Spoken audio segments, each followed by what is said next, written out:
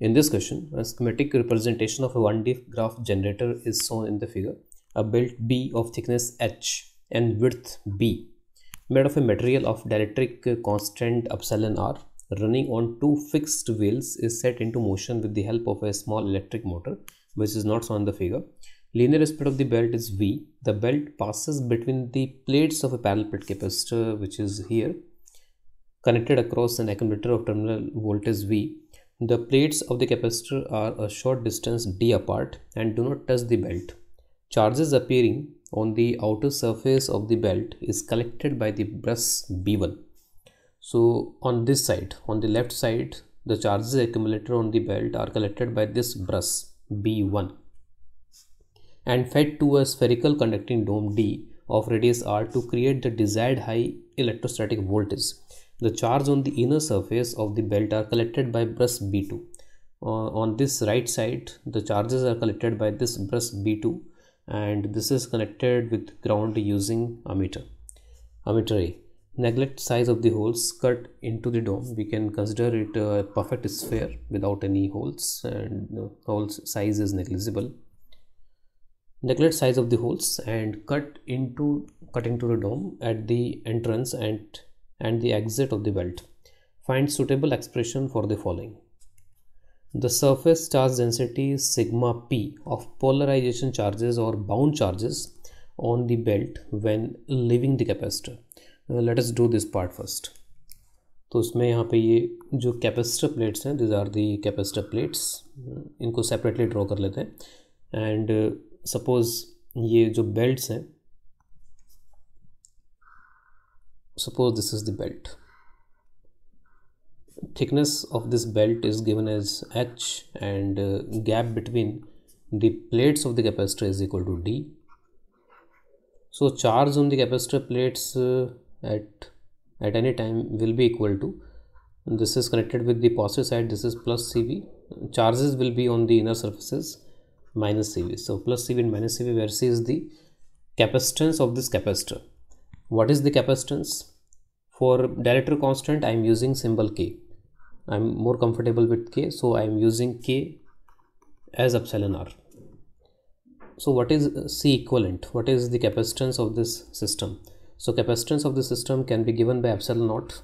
Suppose plate area is equal to a divided by this h distance is in this dielectric medium and d minus h distance is in vacuum so d minus h for vacuum plus h for the medium.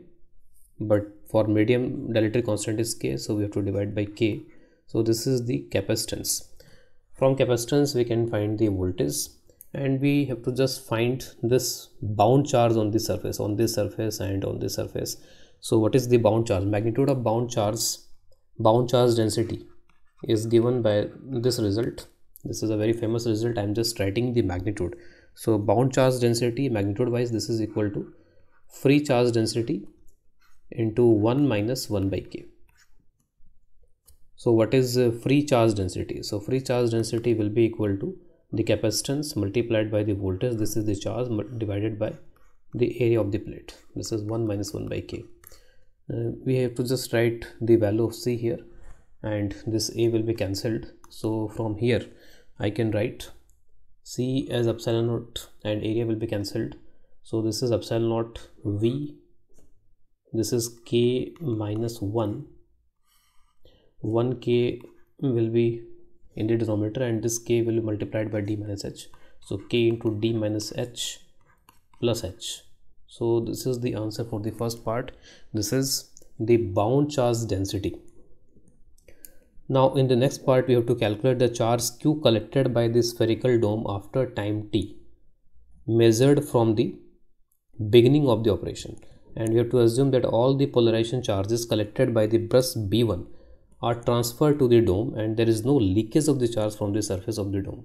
So whatever charge is on the left side of this belt is carried by this B1 to this dome. There is no leakage in between so we have to find the charge accumulated which is represented using q in time t. What is the charge accumulated on this dome in time t? So for that I have to uh, I should write the length of the brush which crosses this capacitor in time t. So length of the brush which crosses this capacitor in time t will will be having the polarization charges on it. So what is the length of that brush which is passing in time t. So let us write for part b. Length of the brush sorry length of the belt length of the belt crossing the capacitor in time t. Crossing the capacitor in time t and obviously this is equal to vt so this length is equal to vt and uh, what is going to be charge on this so charge on this will be equal to q and this is equal to polarization charge density multiplied by the area area of the brush which crosses the capacitor in time t and what is the that area? So that area that area is equal to so we have given the width of the belt is equal to b. This is the inner width and uh, this is the length which is crossing so area will be b v into t. This is the area. So this is charge and for sigma polarization or sigma bound this is sigma polarization. We can use this expression. Earlier expression we have calculated in part a. So uh, this expression multiplied by bv into t. This will give us this charge. So for b this is the answer. We have to just write the value of sigma p in this expression.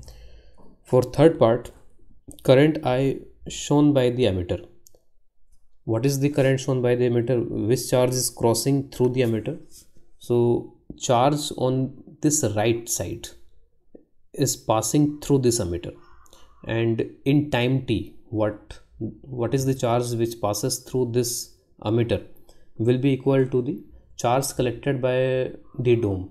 Because uh, on this surface the charge will be negative and uh, on this surface there will be same charge but it will be positive. So charges are, are like this. This is positive charge this is negative and this is again positive and this is negative. So whatever we have calculated for part b this is also valid for part C in terms of charge. So this is the answer for B and the answer for C I have to write this is current value of current. And this is charge divided by current it is just a linear function charge is just a linear function so simply a differentiation we can write differentiation of this or simply write q by t so q by t will be equal to sigma p b into v so this is the answer for C part. This is the current shown by the ammeter. We have to find a steady state charge Q on the dome considering the air as medium of very high resistivity. So the surrounding air has some resistivity and uh, if resistivity is rho then conductivity is sigma is equal to 1 by rho. So this is the conductivity given in this part. So whatever charge is coming here due to some kind of conducting property of the surrounding medium this charge starts leaking. This charge is leaking here so what is the current flowing in this environment in this surrounding? What is the current flowing?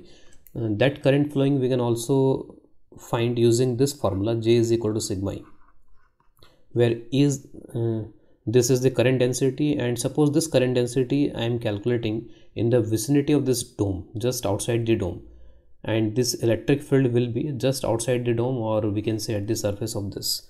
So initially this charge will increase and from that this electric field will also increase. And as electric field increases this current density the current which is going in this environment or in this surrounding this current density increases or current increases. So charge is coming from here. Charge is coming like this. And also the charge is leaking out. Charge is going in the environment.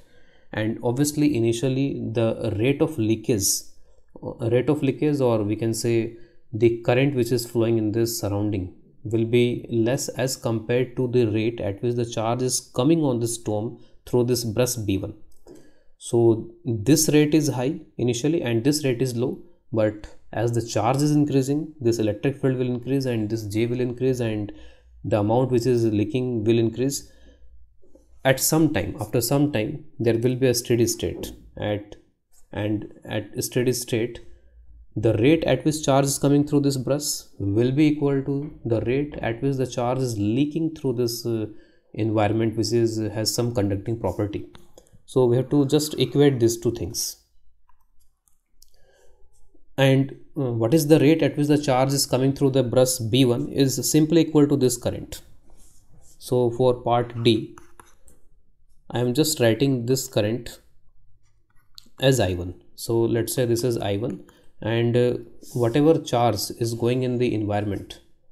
Suppose i am writing this as i2 so this i1 and this i2 should be equal at this particular instant of steady state. So i1 we have already calculated from this part C. So this is I1 this is sigma PBV and what is the value of I2 for I2 we have to multiply the current density J with just area at the surface 4 pi r square. This is the area. And this current density J is equal to sigma E. And we are given sigma is 1 by rho. So J is equal to E by rho. This is E by rho where E is the electric field. 4 pi r square. What is the value of electric field? Electric field is equal to kq cube r square. And k is 1 upon 4 pi epsilon naught. And this q will be the steady state charge. And this is r square this is rho this is 4 pi r square. So from here we can find the value of q. We already know the value of sigma p. Sigma p sigma p we can put from here. And the value q which will come out as from this calculation we can find this value q for this part. This is equal to rho b v epsilon naught square k minus 1 into this voltage v this is small v is velocity and this capital v is voltage potential difference of the batteries. And this is k d minus h plus h. So this is going to be the answer for this part. And coming to the next part or last part e at sufficiently high voltages, the dome loses charge into the surroundings by a faint discharge process known as corona discharge. Uh, in this situation, there is some kind of electric uh, dielectric breakdown and uh, the medium becomes conducting because of the breakdown. Find the steady state charge Q on the dome during corona discharge. If the current density in air during corona discharge is given by the following relation. So in part D, J is equal to simply E by rho. And in this situation of corona discharge, medium is getting breakdown, medium has dielectric breakdown. So this extra part is added into this. This is some beta times which is a constant beta times magnitude of the electric field and this E vector. So J vector is equal to E vector by rho and uh, this relation is, is used in D part but that only difference is uh, this is some extra part due to this uh, breakdown so method is similar to the part D there is no difference. Uh, I, I have to write the I have to write the similar expression. This is sigma p b v. For j I have to write this. For j we can write I am writing this magnitude. So this is e by rho 1 plus beta e. I have taken E as common and uh, this uh, E is just simply magnitude. So sorry. There is a mistake taking E as common this is 1 by rho plus beta times E and for E again we have to write this Q divided by 4 pi epsilon r square. So all the things we have to put like just in the part D. There will be a calculation in this question because uh, in this kq by r square in this expression there will be kq by r square. And again for this electric field you have to write the kq by r square so there will be q square and q and there will be quadratic in charge q. You have to solve that quadratic and write the answer using solving that quadratic. So calculation will be slightly on the higher side. Uh, we cannot say there is calculation but uh, expression will be lengthier. I am just writing the direct answer. You just write electric field is equal to this in terms of charge and there will be quadratic in q and from there you can just simplify it. Simple quadratic equation but expression is just linear. 2 pi epsilon r square rho beta. And obviously there will be root because we have a quadratic equation. This is 1 plus rho square epsilon naught beta divided by pi r square. Again k minus 1 b small v capital V divided by k d minus h plus h. And this minus 1 so this is the answer for the last part